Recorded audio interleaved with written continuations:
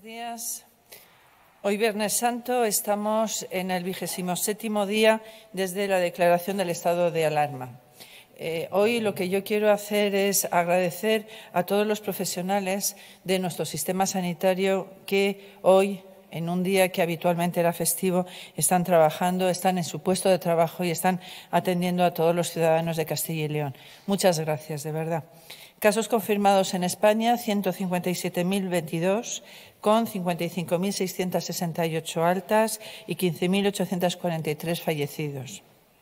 Número de casos en Castilla y León, tenemos 11.102 casos, de ellos 584 son nuevos, han sido declarados en las últimas 24 horas.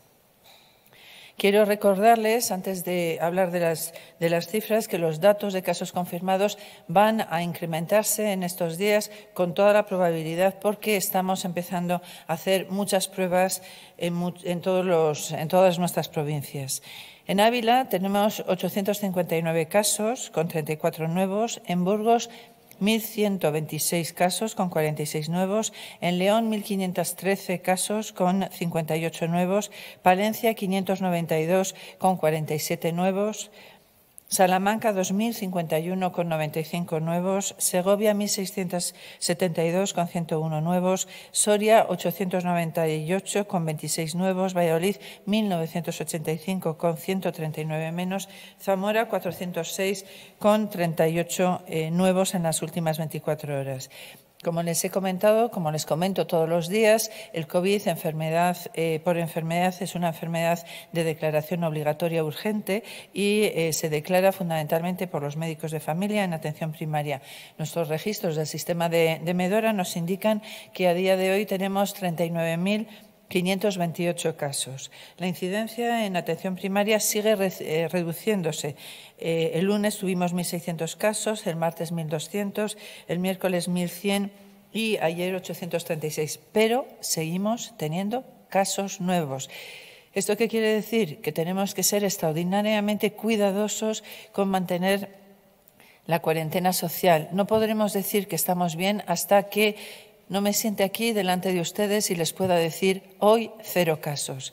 Y, eso además durante, durante, varios días. Por lo tanto, eh, reiterar que es muy importante la cuarentena social, reiterar que nos quedemos en nuestras casas. Nos preocupa que eh, varios alcaldes de, diferentes pueblos nos han comunicado la preocupación que tienen por el número eh, de personas que se han desplazado estos días a los diferentes, eh, a nuestros diferentes pueblos de nuestras provincias.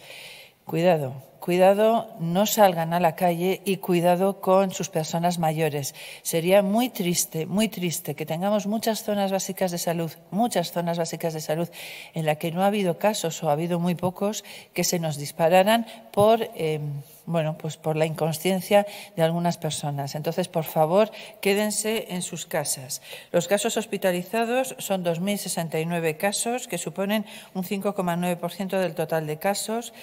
Y tenemos en planta 1.733 personas. Se mantiene una situación estable y nos alegra también decir que el balance sigue siendo negativo de 108 pacientes eh, hospitalizados, es decir, que eh, tenemos eh, más altas que ingresos.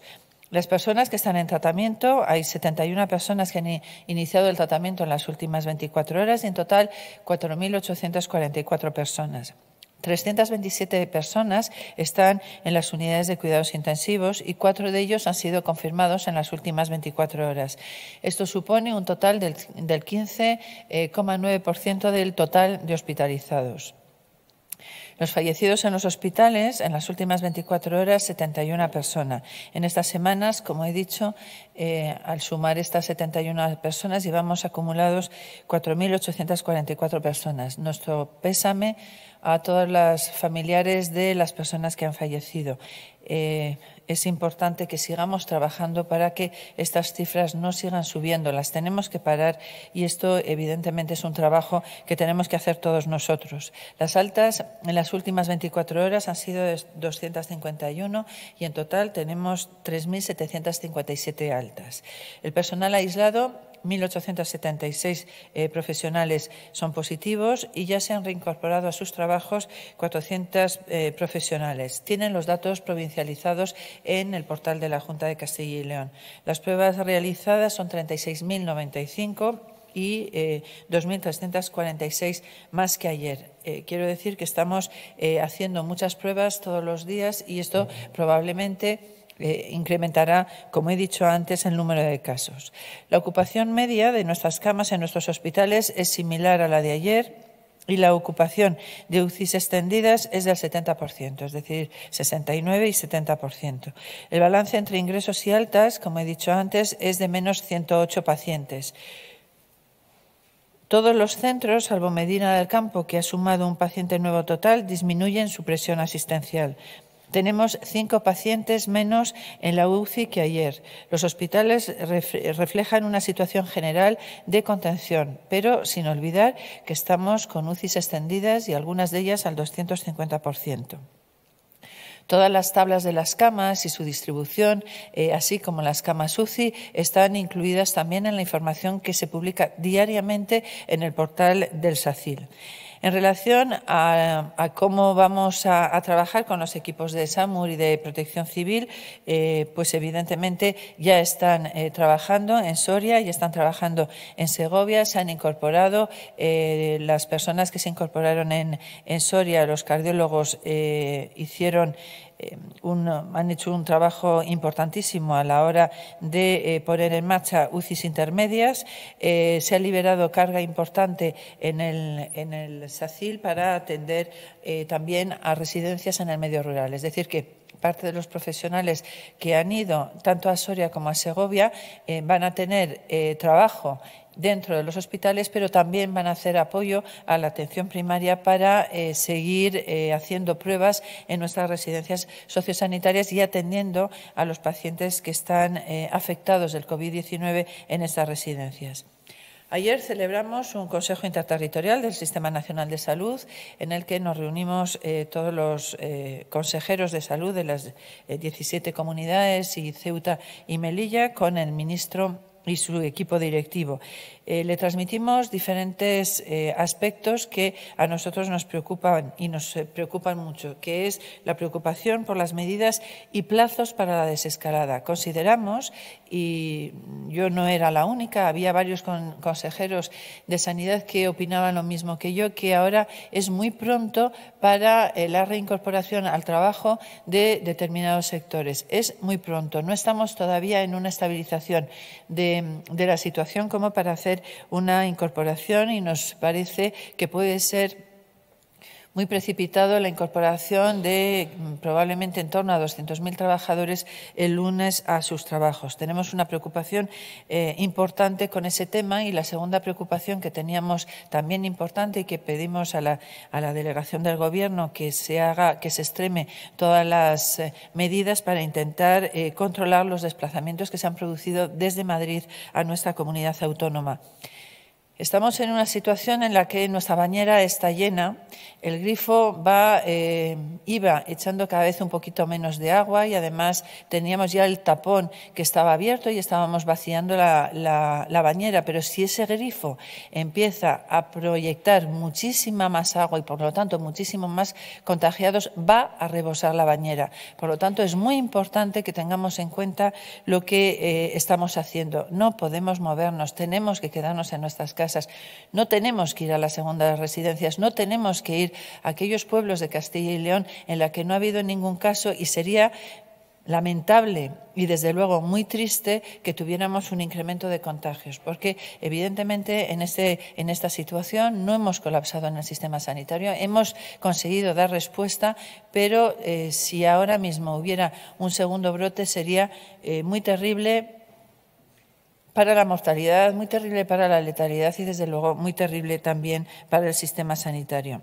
Solicitamos también un incremento del número de, test y eh, lo que queríamos era eh, también un elemento que que yo creo que aquí en Castilla y León lo tenemos controlado, pero que eh, se, comentó varias veces en el Consejo Interterritorial, y es que hay que concienciar a la población que los test se tienen que hacer de manera coordinada desde el sistema sanitario, porque tenemos que saber a quién se hace, cómo se hace y qué resultados estamos obteniendo en esos test. Y eso, em, lo que se, dijo ayer en el Ministerio es que eh, ni empresas ni laboratorios privados deben de hacer test eh, y, debe, y, si los hacen deben de estar supeditados al Ministerio de Sanidad y en este caso a, la Consejería de Sanidad para unificar este, este abordaje y desde luego para poder registrar y saber exactamente la situación que nosotros tenemos. En este pensar eh, general, yo creo que coincidíamos todos los, eh, consejeros. Creemos que estamos asistiendo a una situación en la que el número de casos va, disminuyendo eh, día a día, pero no estamos en casos cero. Todavía no hemos estabilizado la curva y esto nos indica que no debemos relajarnos nadie. En este tema estamos todos todos de alguna manera confrontados a la solución. La solución pasa por la cuarentena social, pasa por la detección de, casos, pasa por su abordaje y, eh, su tratamiento. Pero eh, la más importante, la medida más importante sigue siendo la cuarentena social y el confinamiento en nuestros domicilios. Esta mañana eh, se ha mantenido también, entre los temas que estaban encima de, la mesa, se ha mantenido eh, una, reunión con el Ministerio en relación a la promoción y evaluación de, los residentes eh, vía MIR, es decir, aquellos especialistas en formación de los últimos años. Desde nuestra Consejería de Sanidad hemos trasladado nuestra postura al respecto, que coincide con el sindicato médico y que coincide con el Colegio de Médicos consideramos que los residentes deben de ser evaluados en tiempo y forma y creemos que les podemos evaluar en tiempo y forma y que eh, mientras eh, esto se realiza a todos aquellos residentes que eh, se les ha dado una encomienda de tarea de superior nivel, como puede ser el ser adjuntos, tienen que cobrar como tales, es decir, que eh, se les tiene que remunerar como eh, las tareas que ellos están haciendo. Esos residentes de último año a los que se les ha dicho que tenían que trabajar como médicos especialistas se les tiene que remunerar y eh, se tiene que esperar eh, en, estos, en estas fechas hacer eh, las evaluaciones para que finalmente en el mes de mayo, finales de mayo, se les pueda eh, dar apto o no apto según la, situación, probablemente una gran mayor parte de, de aptos para que se incorporen en las filas de los médicos especialistas. En cuanto a la situación eh, retributiva, como hemos dicho, complementamos las retribuciones de estos profesionales con lo denominado complemento COVID. Es decir, este complemento es compensar eh, ese aumento de responsabilidades que han tenido mediante este complemento. Es decir, pagar a los residentes como adjuntos, eh, ya sea, y cuando hablo de residentes me estoy refiriendo a médicos y enfermeras. También en este apartado quiero eh, dejar, eh, dejar, claro que eh, los sanitarios que han podido ver modificados sus turnos por necesidades del servicio, dejar claro que no va a haber merma retributiva y que se va a compensar los excesos de horas para aquellas categorías que han hecho actividad fuera de horario laboral, es decir, que han tenido un exceso de actividad, ya sea por productividad o por atención continuada. En cuanto a las pruebas, seguimos eh, aumentando nuestra capacidad para hacer pruebas de detección molecular. Estamos ahora en torno a unas 2.000 pruebas. Hoy comienzan también a hacer las pruebas en el laboratorio de la Universidad de León con pruebas procedentes de atención primaria y residencias sociosanitarias. Estos primeros eh, días se irán depurando los equipos y procedimientos para estar listos eh, la semana que viene, que hayamos podido hacer un gran número de, de test a toda nuestra población especialmente a los profesionales y especialmente a las residencias y a sus profesionales. Pese a que hoy es un día festivo, hoy este fin de semana es importante que sigamos entendiendo que esto es un día normal, que es un día normal de cuarentena social, que tenemos que seguir con las medidas de protección. Tiene que haber distancia entre nosotros. Tenemos que lavarnos las manos hasta. Eh, lo más que podamos. Tenemos que, si estornudamos o, tosemos, lo hagamos en la flexura del codo.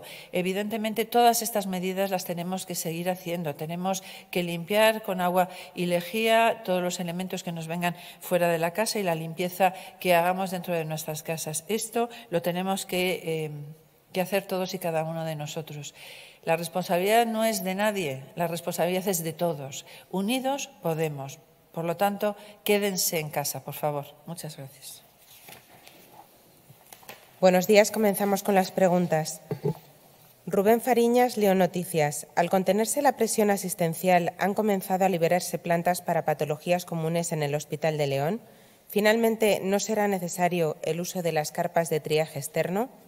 Bueno, aquí varios aspectos. Eh, en principio, el concepto de patología común, si se refiere usted a eh, comenzar la cirugía programada en el hospital, de momento no estamos eh, iniciando ese proceso. Seguimos manteniendo la cirugía urgente y la patología tumoral. Se está llevando a cabo en el Hospital de León y la semana que viene comienza en La Regla, San Francisco y San Juan de Dios. Hay que tener presente que todavía nos encontramos con un número de pacientes elevados, un número de pacientes elevados en nuestras UCIs. No podemos exponernos a hacer eh, determinadas intervenciones que puedan necesitar una unidad de cuidados intensivos o una REA y no tenerlas disponibles. Por lo tanto, la actividad programada de momento no es posible iniciarla.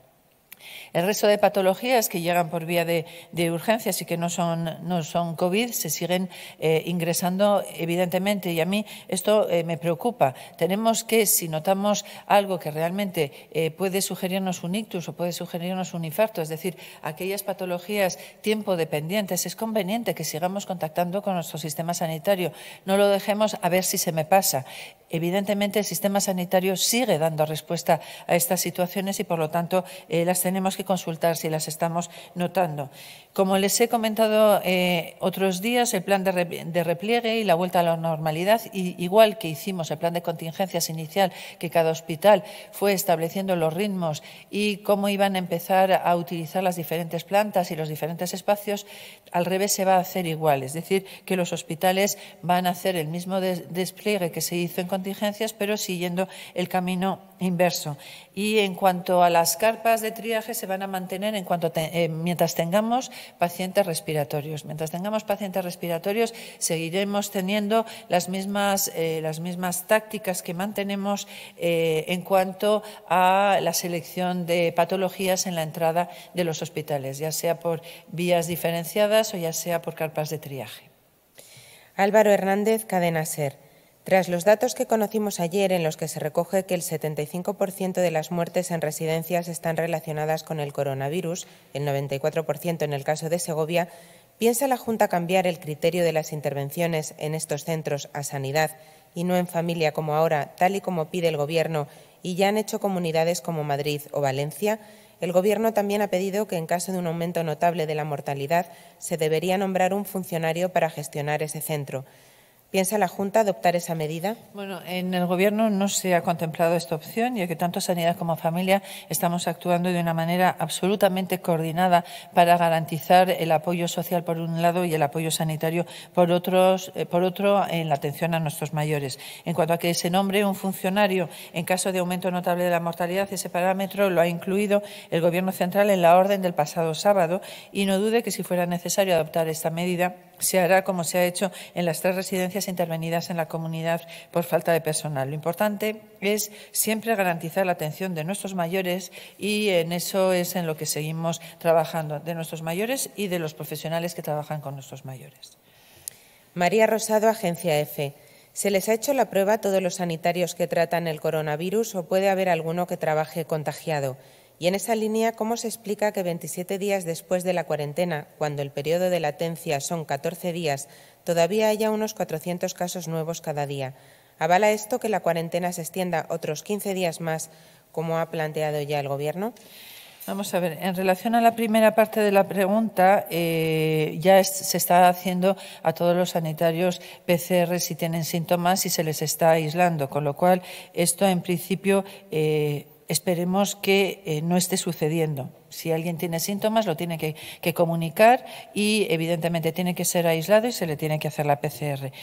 En esta línea, cuando usted me pregunta sobre los 27 días, pues evidentemente, eh, si verdaderamente hubiéramos tenido movilidad cero y no nos hubiéramos movido nada de nada de nada, pues probablemente los 14 días de contagio nos hubieran llevado a un número de casos cero.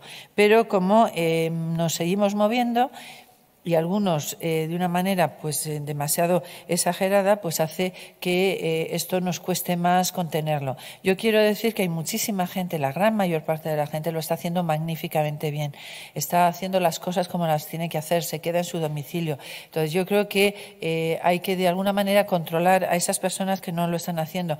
Por lo tanto, mientras no tengamos casos cero, mientras esto siga subiendo, sí avalamos que se amplíe la cuarentena efectivamente. Alejandro Sierra, Canal 54. Los médicos rurales reclaman la realización de test en los entornos no urbanos. ¿Se están haciendo? Si es así, ¿cuántos y de qué modo? ¿Qué previsión hay en este sentido? Bueno, vamos a ver, nosotros no hacemos distinción entre urbano y rural. Se ha empezado al mismo tiempo. Nuestras gerencias de atención primaria nos están diciendo que eh, a lo largo de, esta semana que viene vamos a, intentar tenerlo hecho en todos los profesionales que, en los que esté indicado el hacerlo. Y en cuanto a las residentes, pues eh, residentes de residencias y profesionales de residencias, y, como he dicho, los profesionales sanitarios, en los próximos seis días esperamos eh, tener a todas aquellas personas que están incluidas en el protocolo hechas las pruebas que se, que se indican en estos casos. Victoria Tejedor, Radio Nacional de España. Ya hay fecha para la convocatoria del Comité de Expertos de las Comunidades Autónomas. ¿Confían en que sea antes del lunes, después de la petición de ayer de no reabrir la actividad? Bueno, ayer tuvimos a las 4 de la tarde hasta casi las 8 un interterritorial. Se lo volvimos a, solicitar al Ministerio. Faltaban alguna comunidad autónoma. Algunos lo habíamos mandado a las pocas horas de pedírnoslo y parecía que faltaba, pero fue un error eh, y deben de faltar alguna comunidad, pero yo creo que todos establecimos la necesidad de eh, la urgencia de, esta convocatoria y sobre todo la urgencia de no precipitarnos en la desescalada. Eh, nosotros le, le, manifestamos a nuestro, al ministro eh, que nos preocupaba que hubiera en torno a 200.000 trabajadores que pudieran incorporarse el lunes a trabajar, sobre todo en la fase que aún, que aún tenemos. Ellos nos contestaron que eh, lo que se volvía es a la fase eh, que estaba establecida en el, en el, decreto de alarma, pero a nosotros nos parece insuficiente y al igual que lo hice yo, hubo varios eh, consejeros que se manifestaron en el mismo sentido. Esperamos que, si no es el lunes, el martes, este comité de expertos esté, esté ya funcionando.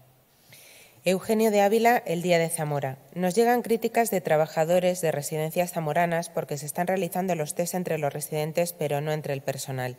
Nosotros entendemos que estas pruebas de anticuerpos no son para personas asintomáticas, pero ¿se va a realizar entre el personal aislado en casa con síntomas y contacto?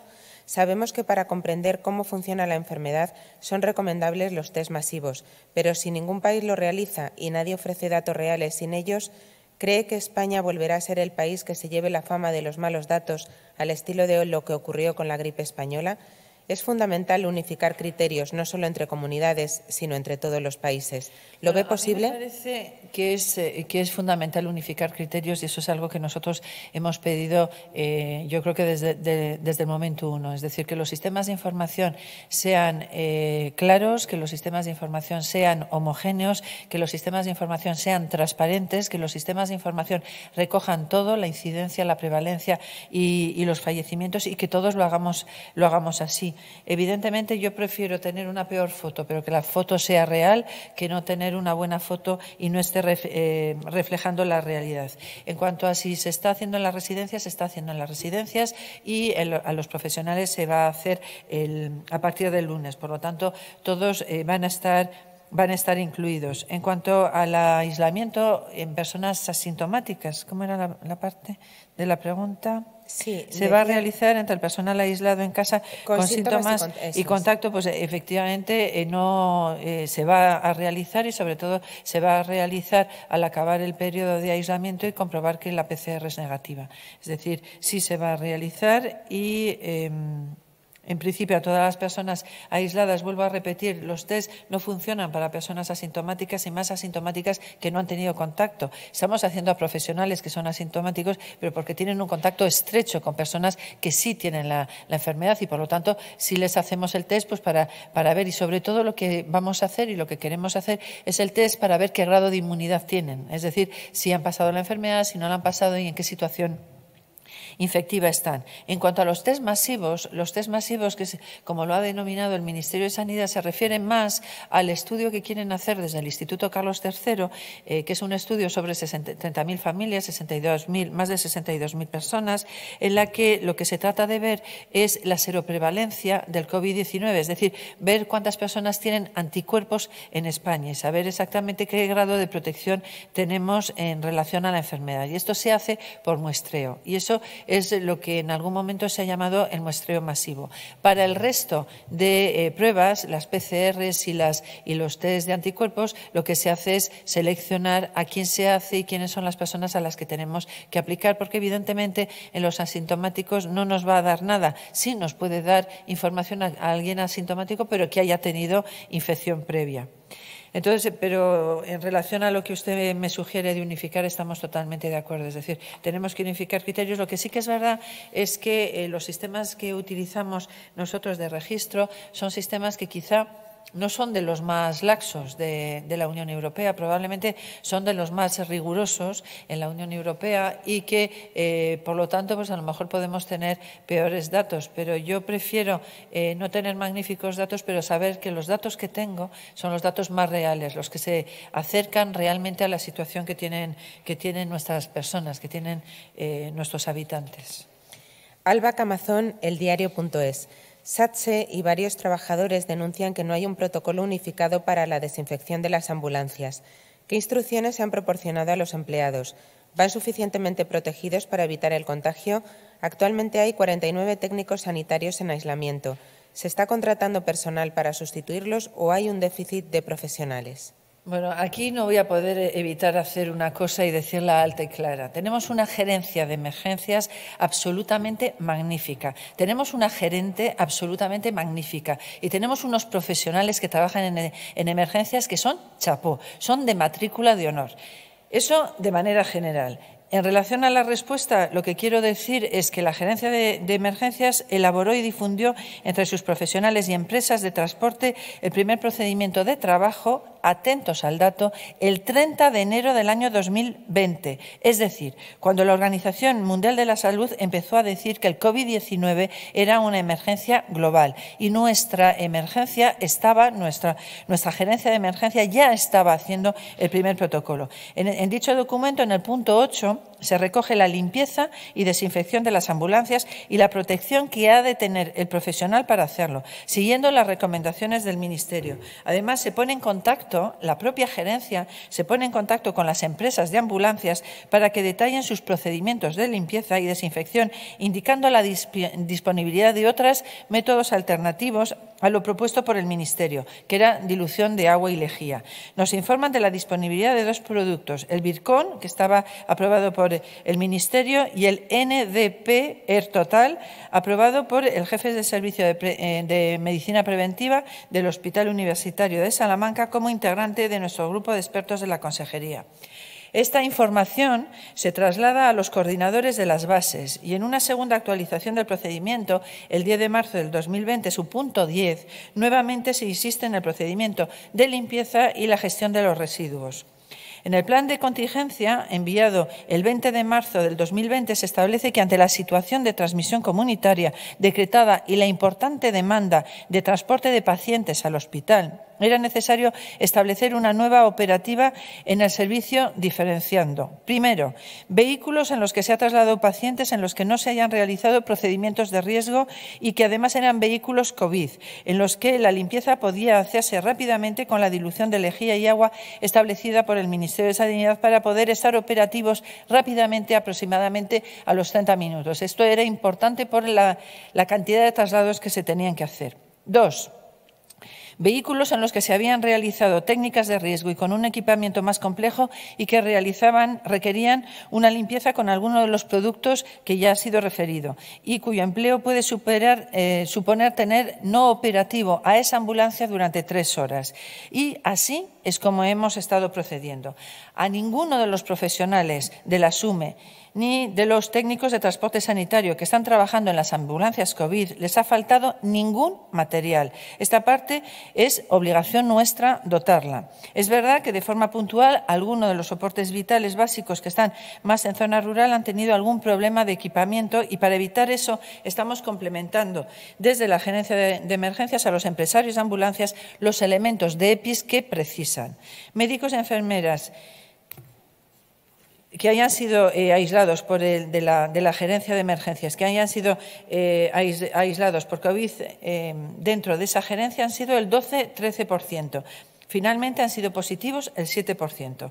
De los técnicos de transporte sanitario adscritos a la gerencia de emergencias pertenecientes al Grupo Ambu Ibérica y a nuevas ambulancias Soria, el porcentaje de infectados es del 2%. Y por lo que respecta a contratos de personal, un médico, 17 enfermeros y aproximadamente 200 operadores para dar respuesta al número 900 y al Centro Coordinador de Urgencias de Emergencias. Yo desde aquí, muchísimas gracias. Estáis haciendo un trabajo absolutamente extraordinario y no tendremos ni días ni dinero para poderoslo pagar. Pero muchísimas gracias a todos. Javier Soria, Salamanca 24 horas. El Consejo de Enfermería anunció hace unos días que rechaza la decisión de SACIL de suplir enfermeras con otros colectivos. Sobre esto, un nutrido grupo de estudiantes del último año de enfermería de la Universidad de Salamanca ha transmitido su descontento con SACIL por impedirles unirse a las labores de apoyo enfermero pese a que tienen el 80% de las prácticas clínicas realizadas y únicamente les falta la presentación del trabajo de fin de grado para obtener su certificación académica. Afirman que en Salamanca y Zamora SACIL nunca ha llegado a ponerse en contacto con ellos, pero que sí lo hizo con estudiantes de Ávila para que realizaran ese apoyo en el hospital de esa provincia. ¿A qué se debe esta decisión cuando parece que existe, que existe escasez de enfermeras? Vamos a ver, lo primero que debo de decir es que no hemos suplido enfermeras por otros colectivos sanitarios. No se ha hecho. Segundo, las eh, diferencias que hay entre hospitales pues son, evidentes, porque son evidentes la diferencia de necesidades que tienen. Hay provincias como en Ávila que han necesitado contratar y ha contratado. En Zamora y Salamanca no han contratado porque no ha sido necesario, no lo han precisado. Nosotros agradecemos mucho la oferta de ayuda eh, de muchísimos colectivos, pero si no se les ha llamado es porque la gerencia no ha considerado que les necesitaba puntualmente en ese momento. Lo que no sabemos es si los vamos a necesitar más adelante. Eh, ellos son los responsables de hacer las contrataciones, los gerentes. Tenemos 15.000 enfermeras en bolsa de trabajo que están repartidas en nueve bolsas de trabajo. Otra cosa es que en algún momento eh, llamemos y no nos escuchen y no vengan a trabajar, pero esto afortunadamente espero que sea las mínimas veces posibles. Adrián del Cura, Soria Televisión. En Soria se enviaron 2.496 test, un 4% del total de la comunidad, 62.000 kits. Cuestión de la que se ha quejado el alcalde de Soria. La situación en Soria la ha calificado como compleja y contenida, pero ¿no estaría más contenida en Soria y Segovia con un mayor número de test que ayudaran a ubicar y neutralizar los focos de contagio? En Soria se está logrando hacer test PCR en tres horas y media, con hasta unos 80 test diarios. Se podría ampliar el personal y recursos para que pudieran hacer más test que ayudaran a la cuestión anterior. Vamos a ver, la población de Soria representa aproximadamente el 3,7% de la comunidad. Los primeros test que se han repartido han tenido en cuenta dos aspectos. La población, es decir, no solamente el 13, eh, ese 3,7%, sino el número de afectados que tienen. Y Soria eh, lleva consumidos un 4,6% de las, eh, de las realizadas en la comunidad, es decir, 1.665 PCRs. Pero lo que llevamos haciendo no quiere decir lo que vamos a seguir haciendo, que lo que está claro es que eh, estos son para unos días, pero seguiremos mandando y seguirán recibiendo porque efectivamente aquellas zonas que tienen mayor nivel de infección nos interesa eh, saber eh, cuál es su situación inmunológica. Ya comenté que se había incorporado al servicio de microbiología del Hospital Santa Bárbara dos personas más con motivo del acuerdo Universidad-Empresa de la Universidad de Valladolid que incluía un biotecnólogo y un farmacéutico farmacéutico. Seguimos repartiendo test, seguirán eh, llegando test a Soria y, evidentemente, cuando vemos que se necesita hacer más test, eh, recuerdo, somos solo un área sanitaria, estamos todos trabajando con todos. Es decir, hay veces que hay test que son remitidos a otros laboratorios que tienen un, eh, un sistema que nos permite hacer más, pero dotación hay y profesionales se han incorporado más. Roberto Mayado, Onda Cero. ¿Hay algún avance en el estudio en el que está participando el clínico de Valladolid sobre el uso de plasma de pacientes inmunes en los infectados? ¿Para cuándo podría haber resultados y cuándo podría comenzar a aplicarse de forma extensiva? Bueno, yo, yo entiendo, y a mí me pasa, y yo soy la primera, que eh, queremos resultados ya. Eh, los ensayos clínicos tardan mucho tiempo, tardan mucho tiempo en diseñarse, mucho tiempo en ponerse en marcha, mucho tiempo en analizarse, mucho tiempo en concluirse y tienen diferentes etapas hasta que eh, se ven los resultados y estos resultados se pueden extender a la población. evidentemente, los ensayos clínicos tardan su tiempo y están planificados y cuando tengamos los resultados seremos los primeros en irlo comunicando. También he de recordar que no somos los únicos que estamos haciendo ensayos clínicos, se están haciendo en toda España y se están haciendo en todos los países. Y afortunadamente todos los días están eh, mandándose nuevas actualizaciones. Eh, otra cosa es que eh, podamos acelerar plazos, pero eh, evidentemente los plazos de un ensayo clínico, si queremos que sea bueno, si queremos que sea un doble ciego, si queremos que esté aleatorizado, eh, necesitamos muestras amplias, necesitamos mucha gente y necesitamos que eh, las conclusiones que se hagan de esos ensayos clínicos sean muy sólidas y sean eh, eso, muy sólidas, porque evidentemente si no me eh, proporcionan evidencias, ese ensayo clínico no va a valer. Y para que valga necesitamos número de personas y necesitamos tiempo. María Espeso, Diario de Ávila. En relación al aumento detectado de pacientes desplazados desde otras regiones a la provincia de Ávila, ¿podría detallar los datos por zonas básicas de salud o al menos cuáles están siendo las bueno, más Hay un mapa estupendo que está publicado en, la página del portal de la Junta de Castilla y León, en la que se ve clarísimamente por cada una de las zonas, las zonas básicas de salud que eh, no están afectadas. Y evidentemente a esas zonas básicas de salud, pues esperemos que no vaya ninguna, nadie de fuera eh, a transportar el contagio con, el virus. Entonces, e, ese mapa eh, le aconsejo que lo miren porque lo estamos actualizando diariamente y ahí sí identifican claramente todas las zonas básicas de salud, en el caso concreto que me pregunta de Ávila, pero de todas las, de todas las áreas de salud.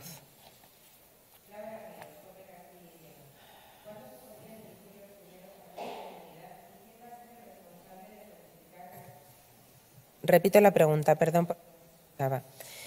¿Cuándo se podrían emitir los primeros carnés de inmunidad y quién va a ser el responsable de certificar que el titular es inmune al COVID-19? ¿Hay garantía de que así sea? Es decir, una persona que ya ha sido infectada ¿Tiene garantías de que no desarrollará la enfermedad de nuevo y que tampoco es foco de contagio? Bueno, vamos a ver, estas son dos preguntas eh, totalmente diferenciadas eh, y además muy interesantes. A ver, la primera, eh, en cuanto al carné de inmunidad, es algo que nosotros proponemos como, como comunidad autónoma, lo vamos a proponer al comité de expertos. De hecho, ya hemos remitido nuestra, nuestra propuesta. Creemos que el carné de inmunidad puede ser muy útil para facilitar la movilidad de ciertos colectivos en la desescalada. Eh, y no solamente eh, para los trabajos, incluso para los viajes. Tener un carnet de inmunidad que esté ligado a la APP hace más complejo que puedan manipularse este tipo de documentos y nos parece que es interesante que exista este tipo de documentos. Eh, evidentemente, por lo que respecta, y, y, para eso también necesitamos tener más test. Por lo tanto, solicitamos no solamente que se valore el carnet de inmunidad, sino tener más test que nos permitan comprobar la inmunidad de las personas. Primero, eh, en el momento actual, en la segunda, en la segunda parte, yo he repetido muchas veces que la infección por coronavirus es una infección muy desconocida. No, sabemos si nos deja inmunidad, si no nos deja inmunidad, qué tipo de inmunidad hay. Lo que está claro es eh, que eh, parece que la inmunidad depende de, de, en función del huésped, es decir, eh, si la inmunidad depende en niños, en adultos o en personas ancianas, el tipo de de clínica que ha ocasionado, deja la misma inmunidad tener una enfermedad muy grave, una moderada, una leve. Eso todavía no tenemos la respuesta. Eh, sabemos que hay otros, virus respiratorios que causan varios e-, episodios en un año, es decir, cuántas personas tienen tres, cuatro catarros. ¿Se va a comportar este virus así o va a ser un virus como la gripe que podemos tener una inmunidad anual o va a ser un virus que nos deje una inmunidad eh, total a lo largo de nuestra vida? Ahora mismo me, me, encantaría poder responder a esa pregunta, pero ahora mismo no lo sabemos. Lo que tampoco sabemos es eh, podemos llegar a saber si esos anticuerpos que generan la enfermedad dejan una, qué tipo de inmunidad nos dejan, que es lo que he dicho antes, si va a ser una inmunidad duradera o no. Pero esto es un campo aún desconocido y que están investigando en muchísimos países y que estaremos encantados de empezar a ver eh, los resultados en relación a esto. Pero ahora mismo saber si una persona que ha tenido el coronavirus lo puede volver a tener. Por eso siempre pedimos prudencia. Pedimos prudencia eh, con la cuarentena social, pedimos prudencia cuando salimos del aislamiento, que estemos unos días también con cierto nivel de, cuarentena, porque evidentemente todavía hay muchos eh, aspectos de esta enfermedad que son muy desconocidos por los investigadores y por los clínicos. Carlos de Miguel Ávila Red. Ante la llegada de miles de madrileños a las Navas del Marqués para pasar los días de Semana Santa saltándose el confinamiento, ¿qué medidas sanitarias se pueden adoptar? La verdad es que oír estas cosas yo no puedo evitar lamentarlas enormemente. Eh, que en las Navas del Marqués o que en, otro, otros puntos eh, hayan aparecido eh, muchas personas para pasar la Semana Santa eso significa que se han saltado el confinamiento, eso significa que no han entendido la importancia de la cuarentena social. ¿Qué medidas se pueden tomar? Pues evidentemente fuerzas y cuerpos de seguridad, Guardia Civil, eh, tienen que estar atentos para que no haya movilidad. Esas personas que han ido a esos lugares no tienen que salir de casa, tienen que estar confinados en su casa y desde luego lo que tienen que hacer es estar muy lejos de sus personas mayores porque Sería bastante tremendo que les dejaran un contagio por coronavirus a sus personas mayores por irles a visitar la Semana Santa sabiendo que estamos en, un momento de confinamiento. Entonces, yo espero que esto eh, se corrija. Desde luego, eh, creo vamos, el delegado eh, del Gobierno lo sabe, eh, lo saben los ayuntamientos y, desde luego, tenemos que evitar que no haya movilidad. Y, desde luego, dentro de las casas, como si estuvieran todos en aislamiento, es decir, distancia, eh, lavado de manos, higiene respiratoria y, desde luego, distancia con las personas mayores. Marco Romero, Diario de León. ¿Hay equipos de investigadores de Castilla y León que estén participando en algunos de los proyectos para encontrar el tratamiento o la vacuna contra el COVID-19? De ser así, ¿cuáles son? ¿Y en qué campo trabajan? Bueno, se está eh, trabajando en el campo del plasma y se está trabajando en ensayos clínicos de eh, fármacos como el eh, Rendesivir. Está, eh, está, participando en los hospitales clínicos universitarios tanto de eh, Salamanca como de Valladolid. Pero con toda seguridad se extenderán eh, varios, varios estudios a diferentes y habrá seguramente trabajando en estudios profesionales de la atención primaria investigadores de hospitales también. Vamos ahora con las preguntas que han ido llegando a lo largo de la rueda de prensa. Hemos recibido bastantes relativas a las residencias de mayores y hemos pedido a los informadores que las trasladen a la Consejería de Familia, si tiene que ser en el día de hoy, y si no, que puedan esperar a mañana, que usted va a estar acompañada de la consejera. ¿De acuerdo? Entonces, vamos con las. ella lo va a contestar bastante mejor que yo, con lo cual es mejor que las preguntas de familia las conteste la consejera de familia. Por tanto, vamos a ir con las siguientes. Luis Falcón, Noticias Castilla y León. Al hilo de lo que ha comentado, ¿nos puede especificar en qué comarca se han detectado esa llegada de personas a segundas residencias? No, no lo puedo especificar porque sé lo que me cuentan eh, de, determinados, de determinados sitios, pero no hay, no hay un sistema de registro en que los alcaldes estén obligados a decirnos si eso, si eso sucede o no. Nosotros lo que hacemos es un registro sanitario, no un registro de movilidad de, personas. Eso probablemente lo saben más los ayuntamientos que nosotros en sanidad. Alejandro Sierra, Canal 54. Los lo que sí que es verdad es que nos han llegado, perdón, pero lo que sí que es verdad es que nos han llegado comentarios de alcaldes de Ávila, de alcaldes de Segovia, y están ambos muy preocupados porque, bueno, pues su tasa de, de infección era alta y subirla sería muy dramático para las personas y para el sistema sanitario. Alejandro Sierra, Canal 54. Los test de punción en el, en el dedo que se han comenzado a realizar permiten saber si se ha pasado la enfermedad. Bueno, vamos a ver, los dos tipos de, test que tenemos, el de detección molecular nos dice si lo tenemos en ese, en ese momento, si tenemos síntomas, solamente vale si tenemos síntomas, y luego tenemos eh, los de anticuerpos que lo que nos permite detectar es si hemos pasado la, enfermedad. Entonces, hay dos tipos de de test, que son los test de anticuerpos totales, y los test que nos diferencian IgM y IgG, que nos permite saber si estamos con infección activa o infección pasada. Pero vamos, en general, si tenemos un test de anticuerpos totales y no tenemos síntomas, es infección pasada. Carlos de Frutos, de Radio Televisión Castilla y León. ¿Será obligatorio que todos los trabajadores que han estado de baja para recibir el alta se tengan que someter a test? ¿Se ha elaborado un protocolo al respecto? Bueno, en principio todos los, todos los trabajadores, si se está refiriendo a los trabajadores del sistema sanitario, desde luego nosotros después del aislamiento y antes de la incorporación del trabajo, lo que hacemos es una PCR y si la PCR es negativa, se incorporan al trabajo. Félix Oliva, Tribuna Grupo. ¿Cree que es una temeridad el regreso al trabajo de Industria y Construcción a partir del lunes? ¿Estamos preparados para evitar un repunte de casos? No, no estamos preparados para evitar un repunte de casos y sí, me parece que es una temeridad. Yo creo que la desescalada no estamos todavía para desescalar y la incorporación de trabajadores es una desescalada, lo miremos como lo miremos. Por lo tanto, yo creo que no se, no se debe y además a mí me preocuparía enormemente un repunte de la enfermedad. Alba Camazón, el diario.es, ha hablado del número de personas que se han desplazado a Castilla y León desde otras autonomías. ¿Tienen cuantificados esos datos aproximadamente, si vienen de Madrid o de otras zonas? Bueno, teníamos cuantificados los datos de las personas que vienen de Madrid y piden tarjeta sanitaria. Nosotros no hacemos un, registro de movilidad de las personas porque sí. Lo que sí que tenemos registrado, y ya lo, comenté hasta ahora, cuántas personas lo habían solicitado.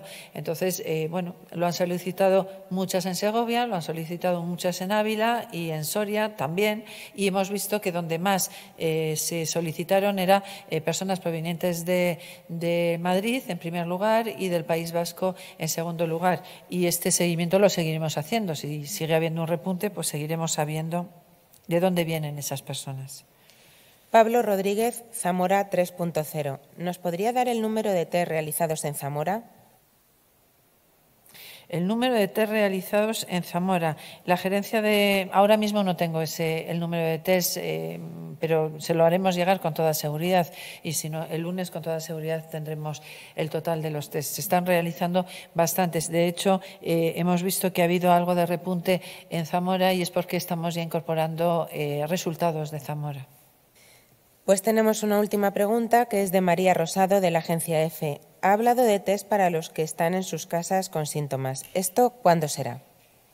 Bueno, eh, vamos a ver. Eh, cuando estamos en aislamiento con, síntomas, eh, si cumplen los criterios y si cumple el protocolo, eh, los equipos COVID de atención primaria les dirán cuándo hay que hacer el test y qué tipo de test les van a hacer. O sea, los equipos COVID son los responsables. El protocolo hecho por, nuestras direcciones generales está ya remitido, se explica qué tipo, hay, qué tipo de test hay que hacer y a quién hay que hacerlo y, evidentemente, la cita se hace a través de los COVID AP. De acuerdo, muchas gracias. Gracias a ustedes.